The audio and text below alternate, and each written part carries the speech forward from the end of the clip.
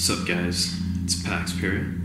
I hope you've been well. So, today I see a lot of people that are struggling, they're tired of their workout program, or they haven't ever stepped in the gym before.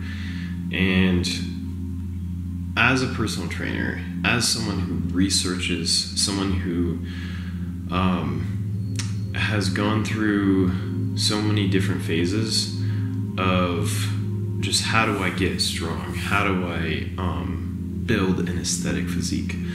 So there's a whole lot to talk about here. There's a lot that goes into it, but hopefully I'm going to simplify this for you to the best of my knowledge because this is so important. Like, this means life or death, in my opinion, and in my experience. Um, I think that training and good nutrition, sound nutrition, supplementation, the right supplements, though, and if needed, the correct approach on drugs because everyone thinks that oh it's all about the steroids um, that's what gets you gains. That's not that's not true. So i'm going to tell you what really matters on building an aesthetic physique a strong physique and a physique a body that will function that will make you feel good because that's what everyone wants right you want to feel good.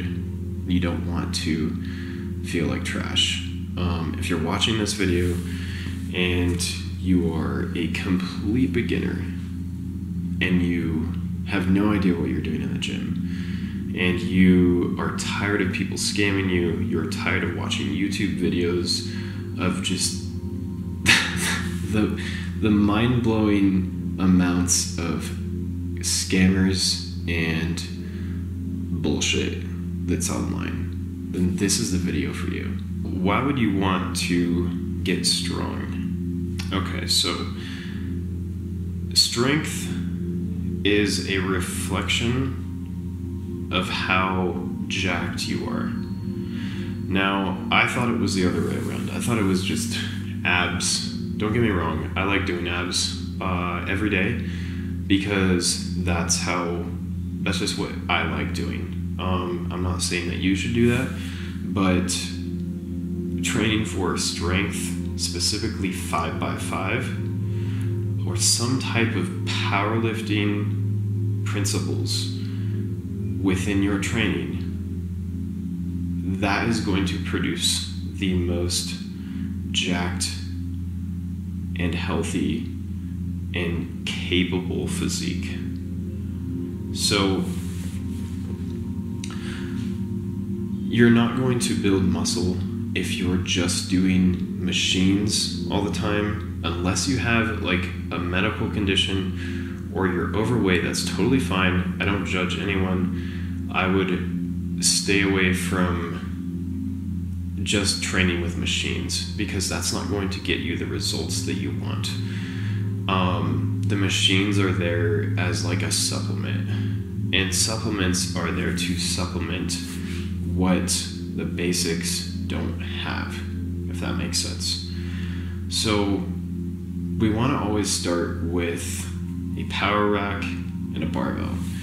So, a lot of there's so much debate about this, and there's there's there's a ridiculous amount of debate about um, this whole thing, but from my experience and um, everything that I've gathered, like in my entire 17 years, 16 and a half uh, years of just researching, um, I think that training for strength is the best approach.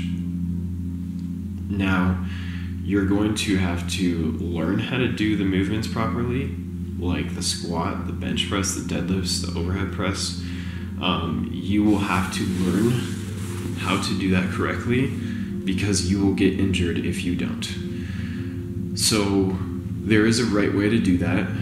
Um, and typically it means full range of motion. Now, I'm not talking about the people that already have injuries there is a way around that to build up to these basics, to build up to being able to squat. Um, there is multiple ways around that, and if you want me to make a video on how to squat if you're injured, um, then just let me know in the comments.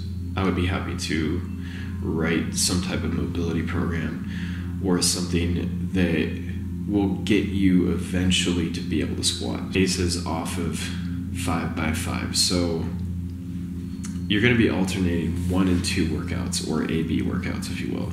So I want to see squats on that first workout, and we'll go ahead and discuss the volume and stuff uh, a little bit later. But squats, bench press, flat bench press with a barbell, squats with a barbell, um, and rows.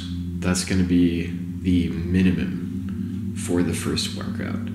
So if you can, if you're like more advanced or you start progressing more, I would add in pull ups, curls, and skull crushers on that same workout. So that's workout A or workout one. I would do five by five or three sets of five on those main lifts, meaning squat, bench, and rows. So, and rows with a barbell. So, um, that's the first workout. If you can't recover, I would just do those three exercises the squats, the bench press, and the row. I would keep those in at the bare minimum. So, workout two or workout B is going to be working up to one set of deadlifts. So deadlifts deadlifts are taxing. They will um, and the reason why most people get injured on them is they are either doing them with too much weight, too much volume, or they just don't know how to do the movement properly. So I would work up to one set of deadlifts, probably five, either three or five reps, depending on the day. Um, for novices, I would just do fives, five sets of fives, or three sets of five on all these exercises except the accessory work. So we've got deadlifts in there, overhead press, overhead press standing. Um, that is going to be the best for the shoulders, in my opinion, and my research then we're going to do some type of abs work. That's going to be the minimum for workout two deadlifts, overhead press, and abs. And this is just my view, my opinion. so if you can do extra, which I would definitely try to do extra, but I'm leaving these other accessory exercises out for if you are either a novice or you can't recover and you're wanting to do this program every day or you're wanting to do this program more than four days a week. So, those other exercises on workout two is going to be pull ups, again, close grip bench press, or dips if you can. Now, a lot of people have problems with dips, and if you have any type of clavicle pain or shoulder pain while you're doing dips, that's probably not the exercise for you. I would just stick with close bench press, close grip bench press. So that's for triceps. And then I would do hip thrusts, alternate hip thrusts with Bulgarian split squats. So one day you do hip thrusts on workout two, the other day you do Bulgarian split squats. So that's going to be the baseline for building a strong aesthetic physique, in my opinion. Um, I think that that's the best for most people, um, unless you have a medical problem or you are a little bit overweight. Again, I don't judge. That is totally fine. Um, I was overweight when I started. I wasn't like super overweight, but I was a bit chubby when I started lifting. And what I would recommend to those people who can't squat yet I would do it either body weight or I would take the reverse bands, take the bands, pulling upwards on the squat rack, and have them assist you while you're squatting until you can squat without the bands.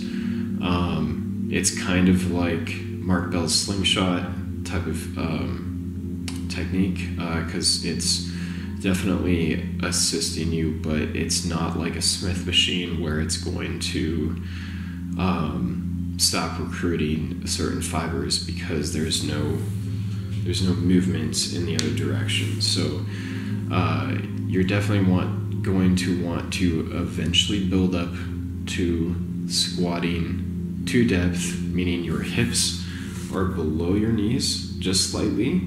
That's parallel.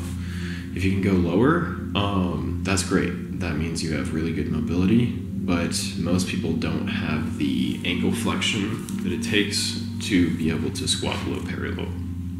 So that's a program that I would do if I was wanting to get the most amount of results as fast as possible. That's a program I would run. Um, this can this is obviously for naturals, and if you're enhanced, um, I would do the same thing.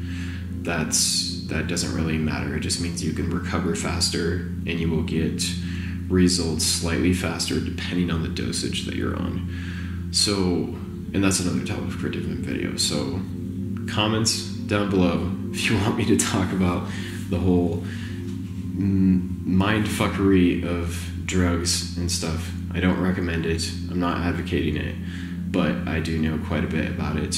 Um, and I hope you enjoyed this video, and I hope you get jacked. I hope that uh, that was helpful. I hope that uh, you have a great rest of your day.